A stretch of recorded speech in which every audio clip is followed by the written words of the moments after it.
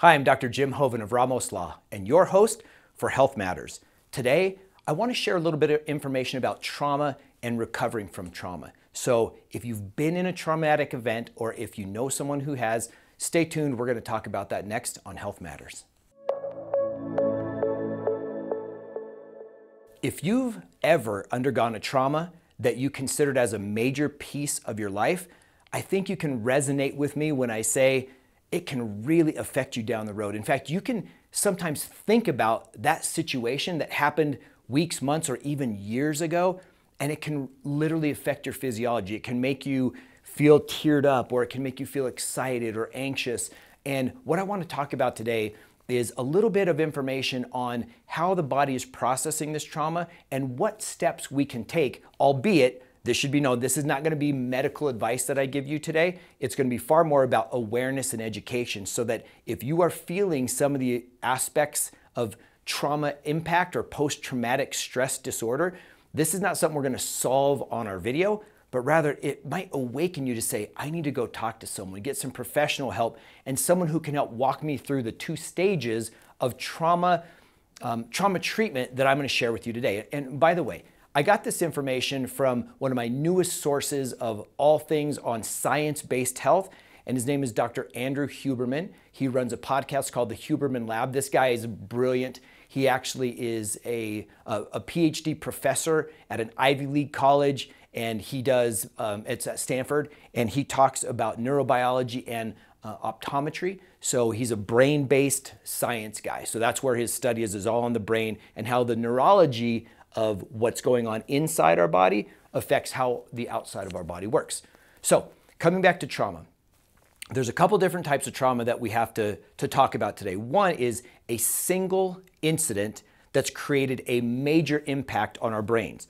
So, for example, let's say that you were in a horrific car accident, rollover car accident, all kinds of issues happen on the scene. That one event can affect you and can affect me long term. It can make us say, I never want to drive again. It can be that bad. Like, because of that one incident, I never want to drive again. The other kind of trauma is that more insidious type of, of mental stress trauma, of something that we saw happening over and over and over just a little bit at a time. And because of that chronic stimulation of that, we say, man, I, I, I just can't deal with that anymore. It'd be, for example, like let's say you wanted to um, fly out to this certain city, and every time you went to fly to that city, your plane was delayed or there was weather there, and the next time uh, you saw a crime committed on the street, you saw little things over and over again. You might say, you know what? I never want to go to that city. I just don't want to be part of it. And so that was a cumulative trauma versus a single event. Either way, that creates neurological impacts in our minds, in our brains, that cause us to have fear. And fear is really, um, it's not conducive to healing. So if we want to really battle this tiger of fear in our lives, if we want to overcome that, there's, according to Dr. Huberman, two primary steps that we need to take whether it's from a single incident or from a, an, an ongoing traumatic stimulus, just a mild ongoing stimulus. And so here's the first step. The first step is how we look at the story of what happened. So let's go back to the major thing first. If we look at the, the car accident, the horrible car accident, the first time we tell that story, it's going to be just like we were reliving it. All the same emotional angst is going to come up. Even our physiology is going to react the same. We might start sweating, we might start crying, our pupils dilate. All the things that we talked about on another video on mental stress and how it affects the body, this applies here.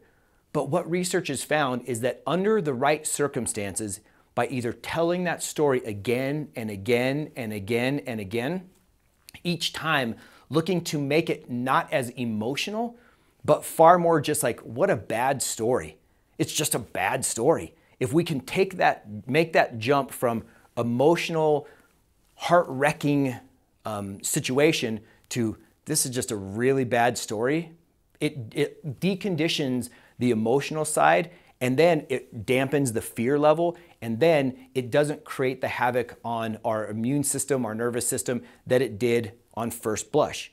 So literally talking it through. But again, this is where we need professional help. And it, it, can also be done in a written format as well. So making sure you understand that. First thing is to, eh, they call it extinguishing the issue.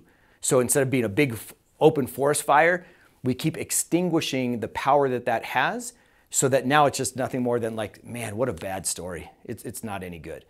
Now, the second part of that is a reconditioning that story or updating it to where now we insert a new positive message. So this would be akin to the, the my interpretation of it is like finding the gratitude within the imperfection. So the imperfection is this thing that happened. So now we've extinguished it, we've dulled it down. We didn't we didn't say it didn't mean anything, but over time we've realized, hey, it's just a set of facts and you know, that's what that is. We've taken the emotion. Now imagine if we could insert the positive things about that thing. Well, because of that car crash, I really learned about what it's like to drive on ice in a different way. And I, it made me far more alert on the road. And I bought a car that was really about safety. And I really make sure that my kids are always belted. Whatever it is, once we have extinguished it, then we put the positive reinforcement on how that thing has best served us. The research shows that that's the way to tame the fear because we're, we're not going to have fear without, without anxiety, fear without stress, but we can have anxiety and stress without fear.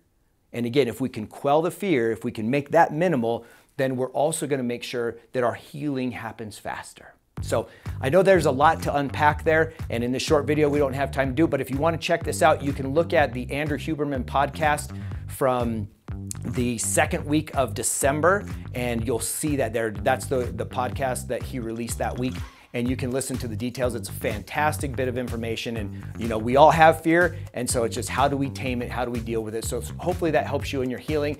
And remember, any of this that you have questions about, you can email me, Dr. Jim Hoven at jim at ramoslaw.com. So jim at ramoslaw.com is my email and we can talk about it more. Also, if this was interesting to you, please share it. Please send it to someone, uh, someone who needs it or someone you love. Love to get the message out. Subscribe to our channels. Thank you, thank you, thank you. And remember, today and every day, your health matters.